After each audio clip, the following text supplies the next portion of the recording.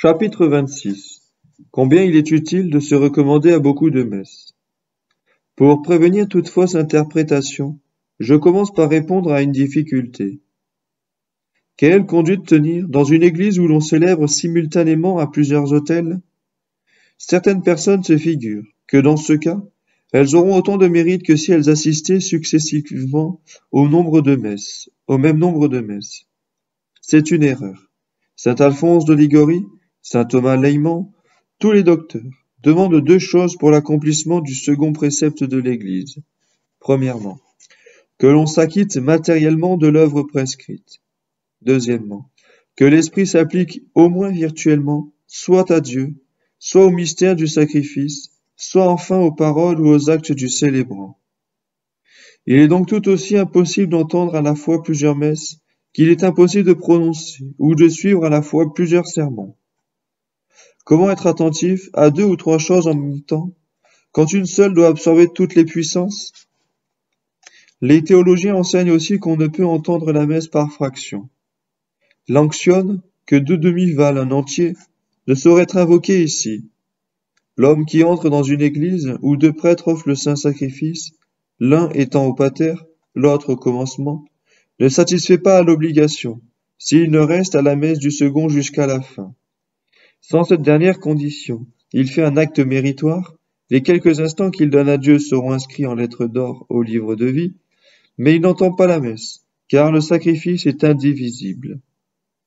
Cette question résolue, vous demanderez peut-être s'il n'est pas mieux d'assister simultanément à plusieurs messes qu'à une seule. Je distingue. Vous mettez-vous au point de vue du culte rendu à Dieu? La chose est indifférente attendu que vous ne pouvez offrir qu'un seul sacrifice à la fois. Vous mettez-vous au point de vue de votre propre avantage? Je n'hésite point à répondre affirmativement, puisque chaque prêtre vous applique les mérites du divin médiateur. Il est toutefois nécessaire de n'être pas distrait par le bruit, trop ordinaire en ces circonstances. Si donc vous êtes d'une nature telle que le moindre mouvement étranger détourne votre esprit, Choisissez de préférence une petite église où on ne dise qu'une seule messe. Je m'explique en deux mots. Ainsi qu'il a été démontré au chapitre 23, tous les prêtres prient et offrent le saint sacrifice à l'intention des assistants. Conclusion. S'il n'y a qu'un seul prêtre à l'autel, vous n'avez qu'une seule prière et une seule application des mérites de Jésus. S'il y en a trois ou plus encore, vous profitez spirituellement vos profits spirituels s'accroît d'autant. Les anges présents à toutes les messes prient eux-mêmes pour vous. Dès lors, plus nombreuses sont les messes, plus nombreux sont aussi vos intercesseurs. Enfin, le prêtre principal, notre Seigneur Jésus-Christ, tout en se sacrifiant pour le monde entier, sauf pour chacun des membres de l'Assemblée. Par conséquent, si vous n'insistez qu'à une seule messe, le Christ ne prie pour vous que sur un seul autel, Tandis que, si vous êtes à plusieurs, Jésus prie pour vous en plusieurs autels. Il fait plus que prier. Il vous donne ses mérites, augmente en vous la grâce, vous accorde enfin mille faveurs précieuses, et d'autant plus abondantes que vous entendez plus de messes. Voici un fait merveilleux, emprunté à la vie de sainte Élisabeth, reine de Portugal, qui prouve avec quelle générosité Dieu récompense cette dévotion. Un seigneur de la cour, sur le point de mourir, dit à son fils Je quitte ce monde, plein d'espérance en la divine miséricorde, et je te laisse seul héritier de mes biens. Mais avant toute chose, je te recommande d'entendre chaque jour la sainte messe, et si tu me succèdes dans ma charge, de servir fidèlement ton roi. Après la mort de son père, le jeune homme fut attaché au service de la reine, qui, témoin de sa piété, lui portait un grand intérêt, lui donnait de bons conseils et lui confiait souvent la distribution de ses aumônes. Cette princesse avait un autre page, mais qu'elle souffrait difficilement à cause de ses mauvaises mœurs. Celui-ci, aveuglé par la jalousie, haïssait profondément son compagnon. Le malheureux ne s'en tint pas là. Voulant à tout prix faire éloigner le vertueux jeune homme, il l'accusa près du roi d'entretenir avec Élisabeth un commerce coupable. Il assura même qu'il était fréquemment dans la chambre de la reine, seul avec elle. Denis se refusait à le croire, sachant qu'était sa femme, ce qu'était sa femme. Le calomniateur le conduisit dans un lieu où il lui montra le page sortant de l'appartement indiqué. Ce plan odieux réussit.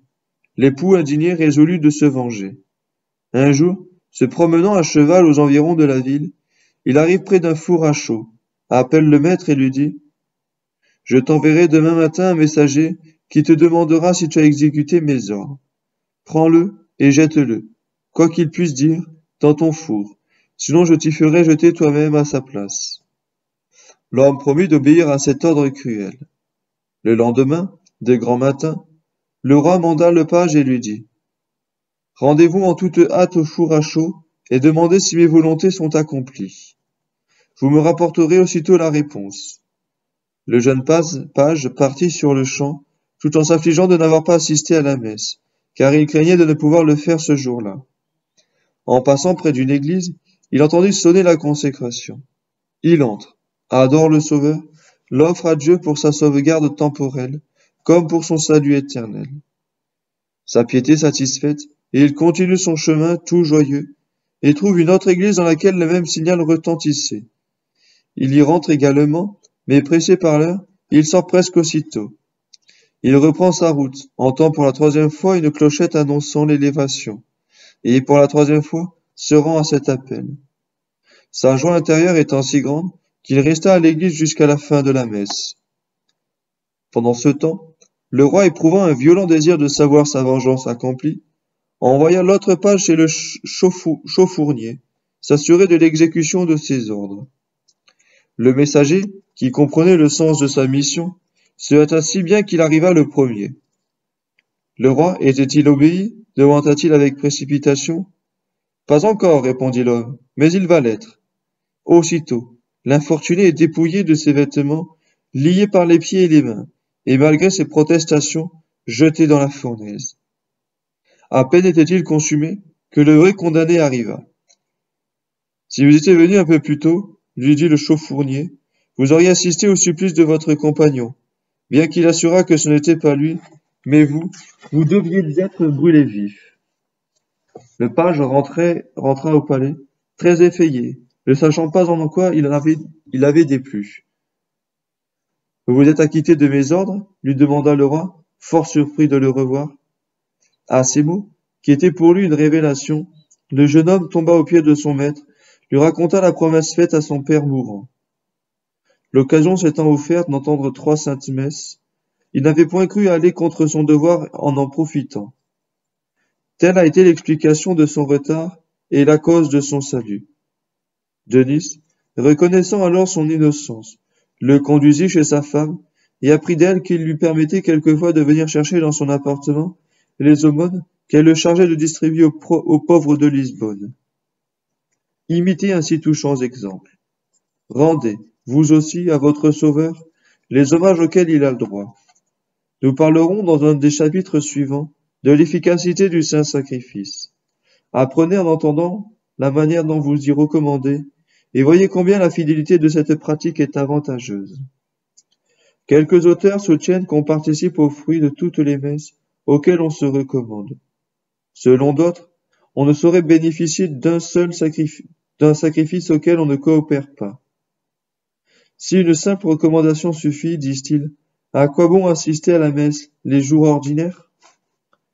Je reconnais sans peine que vous n'entendez, en n'entendrez jamais qu'une seule messe à la fois, alors même qu'on en dirait cent dans la même église, mais rien ne vous empêche de vous recommander à toutes, ni par conséquent d'y être présent en esprit.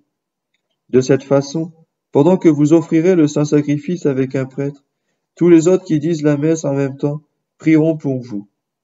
Aussi, je ne saurais trop vous engager à demander un memento à tous ceux qui, auprès de vous, avaient l'occasion de le faire. C'est un antique usage chez les ecclésiastiques célébrant dans la même église de se recommander les uns aux autres. Faites-en autant, quand même vous n'assisteriez assidûment au saint sacrifice vous qui n'avez l'avantage d'être si près de Dieu. En certains pays, quand un prêtre quitte la sacristie pour aller à l'autel, il prie ses confrères de le bénir en disant Benedicite. Les autres répondent Deus benedicat. Et ils ajoutent, et ils ajoutent Commendo me ad tua sacra. je me recommande à vos saints sacrifices. Prenez cette pieuse habitude. Présent ou absent, vous en retirerez de grands avantages, car vous exprimerez par là votre désir d'assister au saint mystère, et Dieu vous en tiendra compte. Citation. Quel trésor, dit sainte Gertrude, on acquis par un moyen si facile. Fin de citation. Vous savez à quelle heure la Sainte Messe est dite quelque part, et il ne dépend que de vous d'y faire porter votre souvenir. N'hésitez pas, puisque le prêtre prie pour les assistants, vous serez du nombre étant présent d'une manière spirituelle. Grand sujet de consolation pour les personnes cloîtrées, qui ne peuvent entendre autant de messes qu'elles le désirent, pour les gens du monde qui n'assistent qu'à une seule, qui quand ils n'en sont pas complètement privés, à cause de leurs occupations, pour les malades enfin, et pour les prisonniers. Si vous êtes empêché d'aller à l'église, lisez au moins les prières liturgiques, unies d'intention avec tous les prêtres qui célèbrent en ce moment. Formez le désir d'offrir le Christ sur tous les autels où il est présent. Vous me demanderez pourquoi je vous engage à vous recommander à des messes dont vous ne savez ni l'heure ni le lieu. Ne serait-il pas plus simple de vous recommander en général à toutes celles qui sont ou qui seront célébrées sur la terre? L'idée est très belle, mais non pratique, puisque vous participez au fruit du sacrifice, il faut y coopérer réellement, et que vous ne pouvez être présent en même temps dans toutes les églises de la terre, même par la pensée la plus rapide. Voici une doctrine qui n'en est pas moins très consolante. L'Église catholique offrant chaque messe, car le prêtre n'est que son ministre, le fruit principal lui en revient. Or, c'est de la vie de l'Église que vous tirez votre vie spirituelle. C'est donc des mérites de la Sainte Messe, lesquels entretiennent et augmentent incessamment le trésor de l'épouse de Jésus-Christ. Toutefois, il vaut beaucoup mieux être présent corporellement, car dans ce cas, tout en ne pouvant offrir qu'une seule messe, vous avez l'avantage de vous unir à tous les prêtres qui célèbrent et vous participez à leurs prières pour les assistants.